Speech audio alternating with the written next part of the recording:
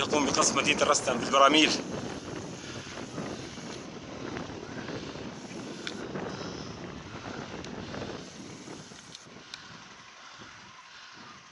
مدينة الرستان تقصف بالبراميل من قبل مروحيات النظام.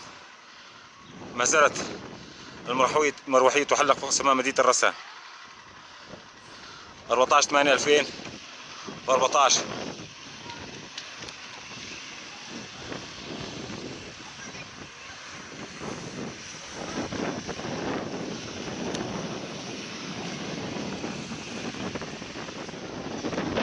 terrestre.